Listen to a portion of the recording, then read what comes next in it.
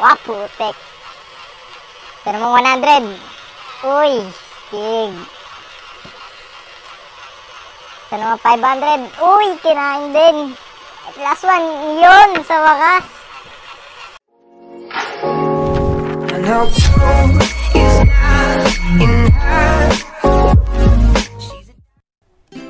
Hello guys, I'm Gerald De Los Santos from Daily Trend Shop. At ngayon, may isa tayong item dito na i-unbox natin. Isa siyang cartoon bank. Pero bago natin buksan, basahin muna natin yung mga nakasulat sa labas ng box. Let the children save his own pocket money. Sa likod naman, ang nakalagay ay 3 ages plus. Tapos, save money. So, yan, makikita nyo dito, kailangan ng ano, ng AAA batteries. Ah, triple double A batteries pala. At hindi siya rechargeable or disaksak. Di baterya. Sa gilid naman, makikita nyo kung paano i-operate at kung paano baguhin yung PIN or yung password. So, buksan na natin. Excited na ako.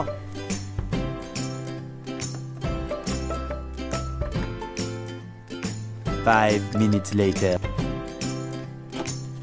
Para sa mga nagtatanong guys, itong item na to ay 450 pesos lang sa Daily Trend Shop.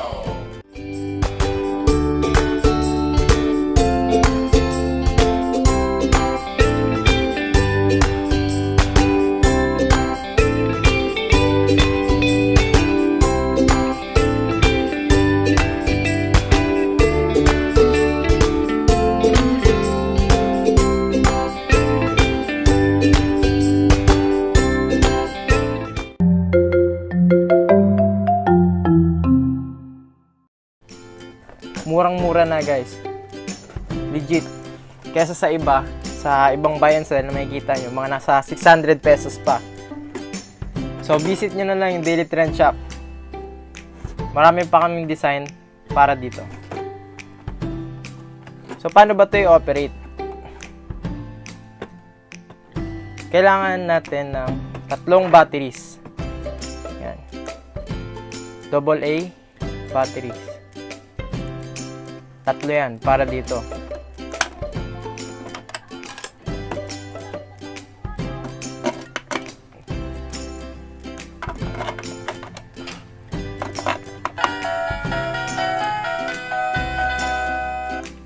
So kita nyo naman, pagkalagay natin ng tatlong battery, tumunog na. Ibig sabihin, okay na yun. Wala nang power on button or kung ano pang pipindutin. Automatically, pwede nang lagyan ng pera. Meron din palang kasamang manual to guys. Ito, kunin ko lang sa box. Yan. Pero bago nyo mabasa yung manual, kailangan marunong muna kayo mag-Chinese. Kasi hindi nyo maiintindihan yung nakasulat dito.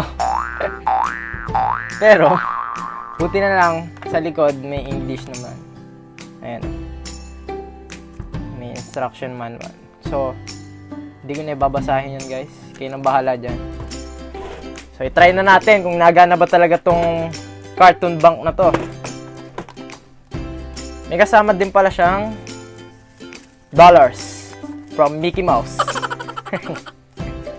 kung titingnan parang naka-off pa pero on na yan. So, try na nating hulugan. Wow! Stig! Tuloy-tuloy lang. Ito pa. Ito pa. Oops. Diba astig guys?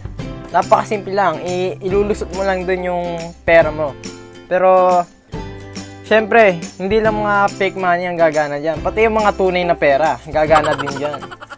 So, try natin ha. Wow, putek. Ito namang 100. Uy, stig. Ito namang 500. Uy, kinain din. Last one, yun, sa wakas. Diba, stig guys? Pero ang tanong, paano natin makukuha yung pera sa loob? Diba? Wala namang kahit na ano dyan. Ito lang talagang nasa harap. So, may, yung password na nakaset dito, 0000 lang. Oh, Pag tumunog, ibig sabihin, pwede nang buksan yun. Pero hindi nyo kagad mabubuksan yun. Kailangan nyo muna ikot to. Oops, oh. Ba't ganun? Pagkatunog. Ano kagad? Ikot agad.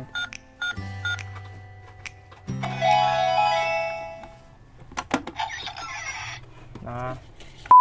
Pero ang tanong dyan guys, paano ba natin makukuha yung pera sa loob? So syempre, kailangan lang natin i-type yung password natin dito. Pero yung password nito, ang nakaset na dito ay 0000 lang. Pag tumunog, ibig sabihin, pwede natin kunin. I-twist lang natin to, sabay, hila ng konti. Diba guys? O yan o. Yan yung pera natin. Astig, di ba? Di ba yan, no? Take note, guys. Hindi lang papel ang pwede dito, pero pwede din ng pwede din ng coins kasi may lusutan naman dito ng coins. So, napakagandang technology nito, guys, no? Check nyo na lang yung Daily Trend Shop. Kung saan mabibili nyo to sa halagang 450 pesos lang. So, syempre guys, hindi lang ito yung design. Marami pang design dyan. Katulad nito, Winnie the Pooh. At hindi lang itong Hello Kitty, no? So, kung gusto nyo pa makita yung ibang design, i-check nyo na lang sa Daily Trend Shop Facebook page yung iba pang designs para sa cartoon bank na to. Thanks for watching!